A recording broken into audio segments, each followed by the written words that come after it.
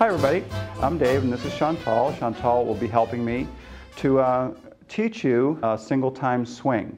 So, to start, we're going to start first. Now first thing I have to do in, in all dancing is to, to find your center point. Number one, we have to be balanced all the time when we dance if we want to have any enjoyment or have any good connection uh, between the partners.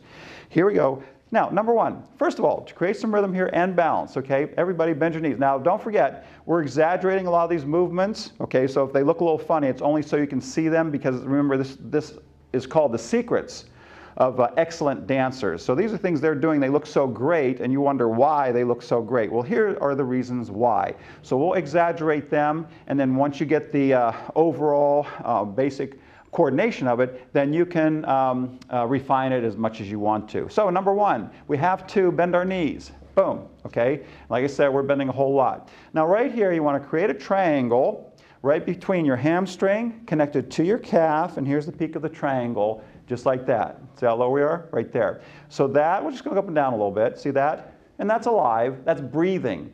That's how you breathe between you and the floor. We have a little bit of a pulse there, okay?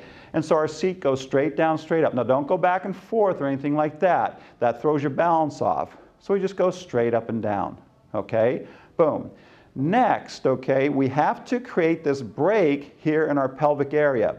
This is sort of like a snow skier. If you ever watch a snow skier go down, we keep our back straight but we angle it forward. So we're going to do it a lot. We're going to angle forward, see that? Our back is straight. Now, that creates another break right here in our pelvic area. That connects our rib cage to our thighs, and here's the peak of the triangle right here at our pelvic. Okay? This is important because this is where most of your feeling comes from, most of your dancing comes from. If you're not doing at least a little bit of that, all you're doing is walking through your patterns. After a while, it gets very, very boring. Okay, so here we go, we're bent and we lean forward. Now we're going to exaggerate just like that. Now same thing, let's just go up and down.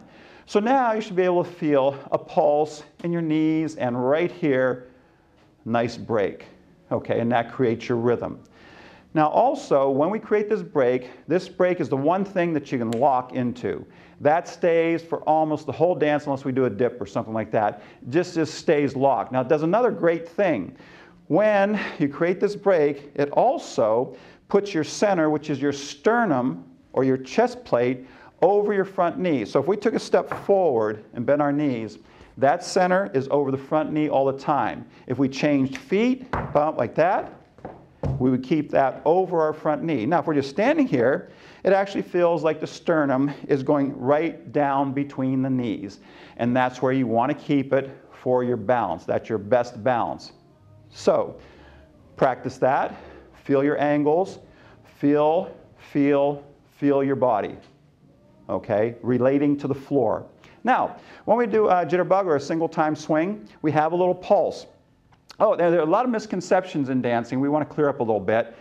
Uh, sometimes people do bounce instead of pulse. They get on their toes and they get all this bounce going on, okay? Not very good dancing because once you come on your toes, you have very poor balance, okay? And then when you're bouncing, you're monorhythmic. Everything's going up and down at the same time when actually, to get more enjoyment out of your dancing, parts of your body should be moving at different times. So, instead of being on your toes, here's the correct way to do it. You keep your balance, you keep your weight on the balls of your feet, but you touch your heels to the ground, okay? Don't be up on your toes. So we're flat footed. There you go, right. Flat footed, but keep your weight on the balls of your feet. So instantly I can pick up my, my heel in an instant. Not a problem. Okay? Weight on the balls of your feet, touching the heels to the ground. This keeps you uh, grounded and balanced. Okay? So now we're going to create the little rhythm for pulse is good, bounce is bad. What's pulse? Pulse is just if you take a step and you just drop a little bit, take a step, drop, step, drop. That's pulse.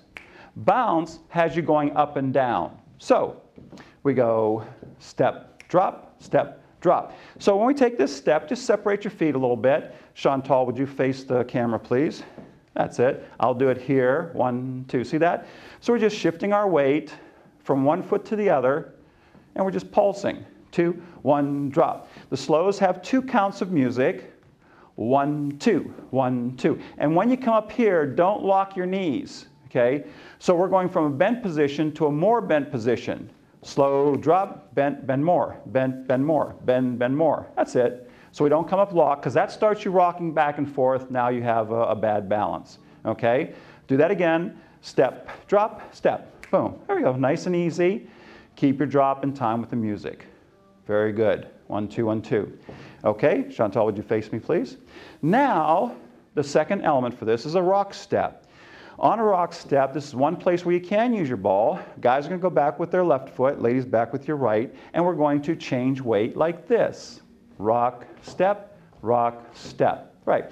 So this is one of the few times where you only use a ball. And we do that because we're trying to keep our center over our front leg. And even though it's called a rock step, we don't have time to really rock our bodies. It's going too fast. Our feet rock, but our body, our center, stays over our front foot. So if you're flat on the front foot and only hit the ball of the back foot, then you can keep your top still. And there's a lot to be said for keeping still on top. Right now, that's what you want to do a lot of. Okay? Up and down. Now you notice we're also pulsing the knees. There are a lot of different rhythms going on in our body. And the knees, there is a very important one going on. Your knees should be staying in time with the music, even more so than your feet. So right here, you notice us lifting. One, two, one, two, one, two. The rock step has one count each, and the knees go up and down. Now, this is very important, especially for swing. Swing is a knee pump dance. Back in the days of the Lindy Hop, okay, the dancers got way down, big angle in their body, okay? Sometimes their spine was almost parallel to the floor. And you saw them kicking their feet up a whole lot, one, a two, one, a two. Now, the reason we did this was to create rhythm in our body, so our rhythm triangle is really working. So what we want you to do is feel that. Now we're not going to do that much in the jitterbug, but you still want to have some of it to create some feeling. So we're going to lean forward a lot, pick a knee way up into the rib cage, put it down, up, down, up, down, up. That's it. Feel it go right up into your rib cage, up, down, up, up, down, up. So that's happening also. One. So we get a nice rhythm here in our pelvic area. One, two. So now when we drop, one, two, ba, the knee can come up a little bit. Two, right. So now we're going down, we have a nice break here. So we have rhythm from our pulse, and we have rhythm from our pelvic, pumping our thigh up into our rib cage. Right. Two, like I said, this is exaggerated. We want you to see it. And then when we actually dance it, you don't see it that much, but it's still there. Good. Now, for the rock step, putting those two together. So now we're going to take, guys are going to step uh, left, ladies are going to step right. Uh, let's see, Chantal, would you do it this way, please? You, why don't you face that way? Okay, and I'll face this way. Okay, normally we're in front of each other, but we want you to see the rhythm. So now we're going to do the basic step. We're going to go to the guys, uh, the leads left and the, and the ladies right, and we're going to go step, pulse, step, pulse, rock, step. And that's our basic rhythm, our basic timing, basic pattern. Ready, go. Step, pulse, step, pulse, rock, step, step, pulse. You notice we don't pulse on the rock step. We just change weight. One, step, drop, change weight. One, drop, step, drop, change weight. One, two, rock, step, slow, ah, slow. Rock, step, slow, slow, rock, step. If we're doing it here, in uh, Jitterbug, we do a lot of single hand hold. Guys, your thumb goes on top very lightly. Ladies, your hand will be, your palm will be towards the ground. Guys, yours is what we call like in a pistol position. Your hand is sideways and it fits very nicely. Thumb on top, no pressure. So here we go. Step, drop, step, drop, rock, step, step, drop, step, drop, rock, step, step. No drop here, just change the knees. Now right here, knee, knee. You'll feel your knees dancing. Two, step, step, drop, knee, and step, step, rock, step.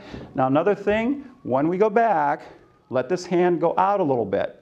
Because if we happen to be going back a little bit, we'll yank on each other. So we're exaggerating. We go step, step, out, in. And this is very important. So many times, if you don't think about it, our hands actually suck into our body. When you're not thinking about it, they actually pull in. So if we're both dancing that way, we're pulling on each other, creating a tension. There's never any tension. There's never, remember, there's no tension resistance or stiffness in dancing, ever, ever. Even though people do it, it's not a real good way to dance. So when we come here, we're going to exaggerate again. One drop. We let this arm go out and in. One, two, out, in. See? Then we don't pull on each other. We keep our center point out in. As a matter of fact, the reason she's going back is because I'm extending my arm out, so is she. That's telling us to go away from each other. And then we both bring our arm in, and that pulls us in. We don't yank on each other. We do that very gently. Step, pulse, step, out, in, step, step, out, in. Then we can do a very comfortable rock step. Bum, bum, and there you have your basic step, open position. And the only thing we'd like to add right now is if we do in closed position. When we're in open, we go straight back. If we get in closed position, we put our arm around her back, just comfortably, somewhere right around in there. And she's going to put her hand on the outside of the shoulder, okay, the outside falling around here. Now, here's another important thing that's happening. When we dance in closed position, everybody go like this. There we go. Okay, you see the ballerinas do that because that really helps to balance the human body. So when we dance, it works out real nice because we actually go inside that oval of our partner. So when we're here, we're not really trying to hold on to each other real tight. We're just trying to create this oval around the person that they can dance. Very good. And now we're comfortable. And we also try and keep our elbows very still, contributing to our balance. This hand is here. Now when we go step, pulse, step, we turn out a little bit, okay, so that we don't fly away from the partner. So we go step, step, turn out a little bit, face each other, out a little, face each other, rock and step, pulse, step, pulse, rock, step, step, pulse, step, pulse, rock, step. Very good. Okay. So there you have it. You have your, um, uh, your basic rhythm, uh, how to balance, how to create that rhythm, a little bit of connection uh, to the lady. So practice those. And uh, once you get that, uh, we'll come back and move on from there.